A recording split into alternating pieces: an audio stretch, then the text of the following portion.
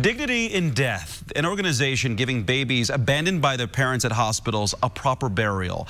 Indiana is one of the worst states when it comes to infant mortality.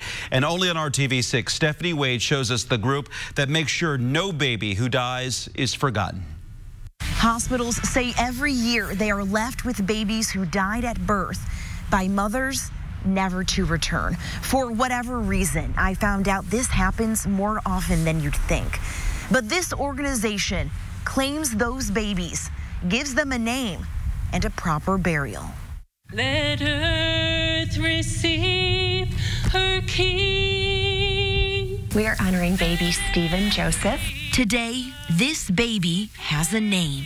Your life mattered. Even though I don't know you and even though you're a stranger to me, your life matters. After spending just two hours here on Earth as a stillborn, his mother left him at a local hospital. I don't know what her conflict is or was, but I know that in her choosing to walk away, we walked in. Though his mother abandoned him without holding a funeral, Linda Znachko isn't. Because to her, this baby's life meant something. Baby Stephen Joseph, as she named him, means something. The lost part of the baby is really sad. And then I get to claim this baby and do something beautiful with the fact that the baby was lost. The baby now for me is found. Babies born over 20 weeks old are required by law to be buried or cremated. Hospitals try at length to reach the parents or family members. If unsuccessful after a certain point, they reach out to Znachko with He Knows Your Name Ministries.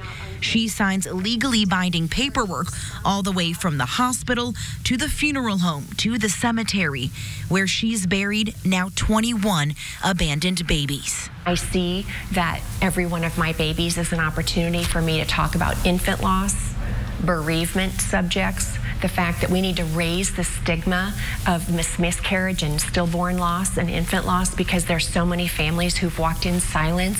Giving each child a name, a gown, and a proper send off to celebrate their life. And let his little child come in. Working for you, Stephanie Wade, RTV6. Well, one of the hospitals He Knows Your Name Ministries partners with is Community Health Network. Two years ago, they told us up to 10 babies were abandoned each year at their hospitals. Now that number is down to five. They say they've improved their bereavement services, and that's helping to lower abandonment rates. Riley Children's Health has a new tool to help grieving families say goodbye to a newborn who has died. The Cuddle Cot is an addition to the Hope and Healing Bereavement Program at Riley Children's Health. It's a cooling device that allows families to spend extra time with their newborn after death.